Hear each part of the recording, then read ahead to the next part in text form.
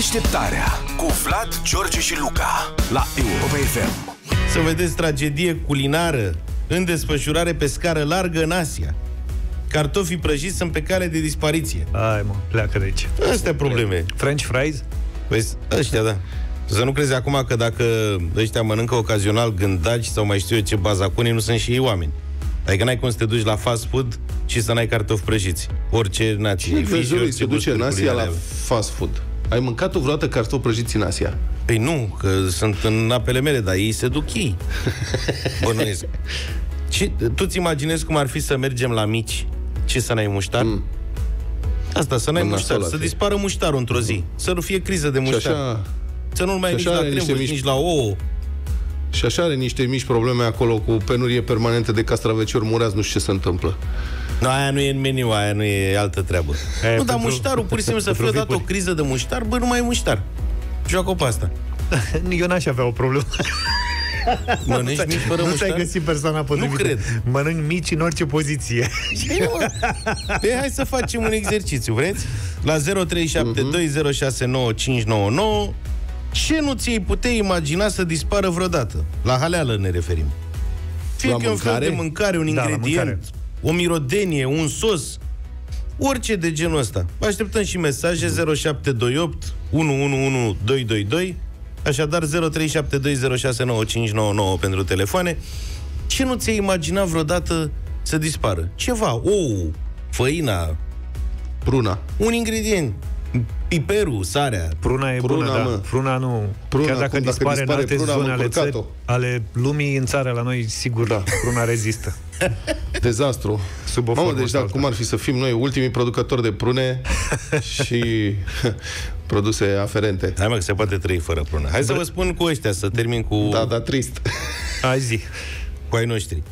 Deci în Asia treaba cu cartofii prăjiți în felul următor. Ideea e că din cauza unor blocaje pe lanțurile de aprovizionare din Statele Unite și din Europa, livrările de cartofi pai congelați întârzie.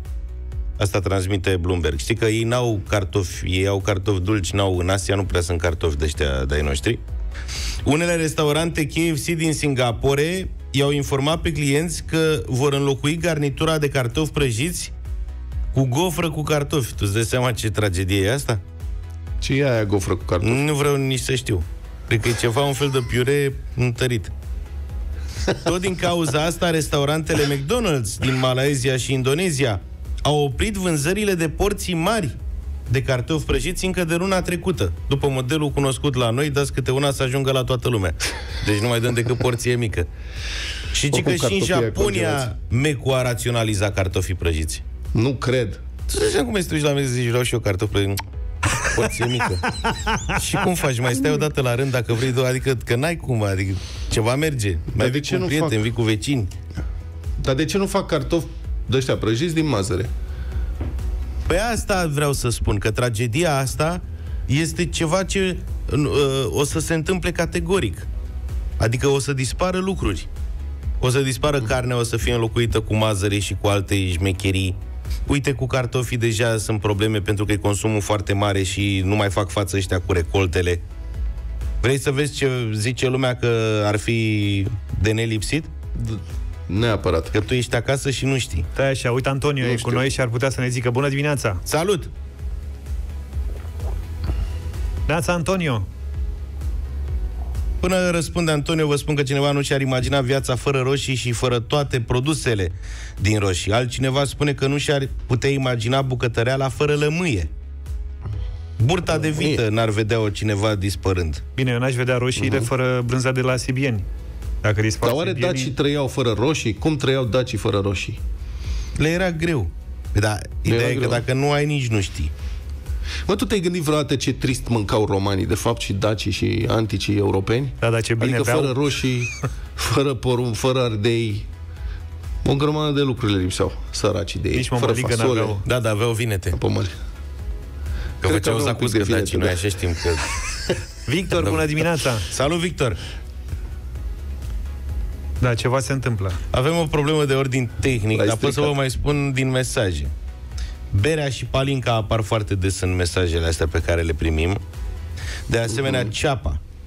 Și adevărul e că ceapa, e foarte greu de înlocuit în bucătărie. Dacă stai Așa bine este, să te gândești, Da. Una corect. alta, ceapa e nelipsită din orice. Da, nici o tocană. Adică nu, nici o nu poți tocană, face nici nici o tocană dacă Mâncarea n-ai ceapă. gătită e, Ciorbă. are Exact. ceapă la bază. Foarte bună observație. Ca să nu zicem de sare acum, dar presupun că nu mergem până la chestia de, de bază. Da, e totuși prea mult. Sunt și mesaje foarte da. multe uh, cu sarea. Să fie înlocuiți morcovii prăjiți sau ardeiul gras proaspăt.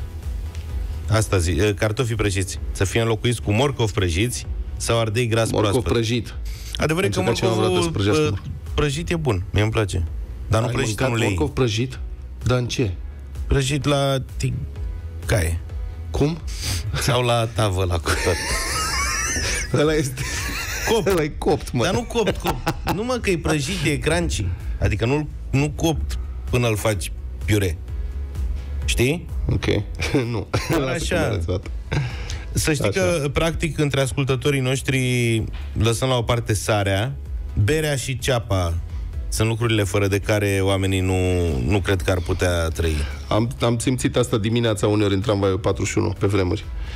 și ustă de usturoi nu zice nimeni nimic. Ba da, sunt și 3-4 mesaje cu Deci pentru usturoi. români, ceapa crudă, usturoiul crud, mușdeiul și berea. Sunt și 2-3 Sunt fără asta. 2-3 de-ai mei care spun că se termină omenirea fără ciocolată Ciocolată. Și sunt de acord cu asta. Dar nu era criză la un moment dat de ciocolată? Nu se spunea că o să rămânem fără ciocolată? Urmează. Urmează, De-abia nu? se amorsează. Și uite ce ne scrie Tiberiu, ca să înțelegem puțin fenomenul de acolo. Zice, ca un român mutat în Vietnam, nu am crezut că mă pot bucura așa de tare de o mămăligă. Comandă specială de pe internet, aproape 30 de lei kilogramul de mălai. În weekend a fost festin de mămăligă în toate felurile. Vezi, mă, ce înseamnă să-ți lipsească, să-ți lipsească Da, mă. un ingredient sau ceva? Așa e. Cât de mare e tragedia și îți dai seama, aia săracii n-au cartofi prăjiți deja de zile în șir. Da. Cam asta este situația. O să vedem ce mai zice lumea, că sunt extrem de multe mesaje. Cartoful dulce prăjit e mult peste cartofii americani. Aici, în Israel, se vând uh, și cartofi dulci prăjiți și sunt o nebunie. Ne scrie cineva care nu înțelege de ce se plâng asiaticii, că uite, ar putea să înlocuiască... Că nu-i tot una. Nu-i tot una, nu merge cu aripioare picante și cu burger, Cartof dulce. cartof dulce prăjit. Cartoful dulce N-aș. prăjit de-abia îl duc eu, care sunt foarte deschis.